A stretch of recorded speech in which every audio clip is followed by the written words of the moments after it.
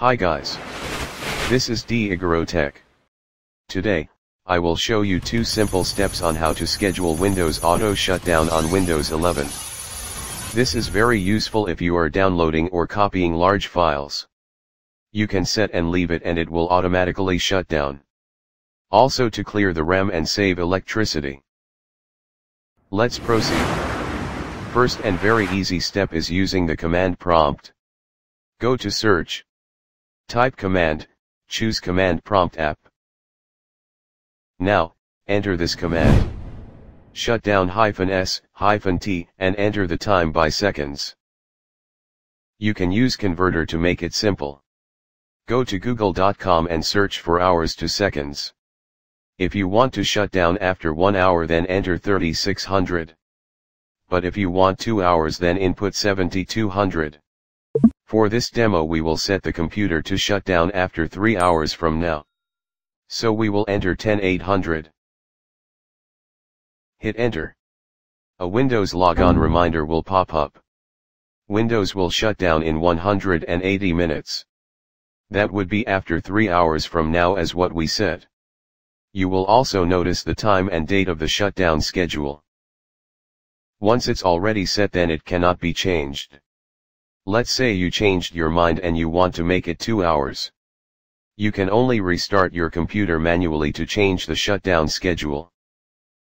That's how to use the command prompt. Next step is by using the app called Task Scheduler. Go to search. Type Task Scheduler. Choose Task Scheduler app. Click Create Basic Task. Enter the task name. Since I'm going to schedule auto shutdown every 10 p.m. daily then we will give it a name of auto shutdown at 10 to make it simple. You can enter a description or you can leave it blank. Click Next. You have the options to choose. We will choose daily. Click Next. Now, choose when you want to start the task. In my case, I want to start it tomorrow so I will choose the next day. Next is set the time for the auto shutdown. We will set it 10 p.m. This means, my computer will auto shut down every 10 p.m. daily. Leave it recur every one day. Click Next. I don't want to send email or message so I will leave it to default. Click Next. For the program, you can enter shutdown. You can add arguments if you want. This is optional. We can enter slash s, slash f, slash t, space 0. Click Next. You can see the task name is Auto Shutdown at 10. You can also see the trigger, daily at 10 p.m. Click Finish. To check the created task. Click Task Scheduler Library. You can see the file name we just created, the status is ready and the triggers which is 10 p.m. every day. If in case you want to disable the task then you can simply click on Disable. Notice the status has changed to disabled.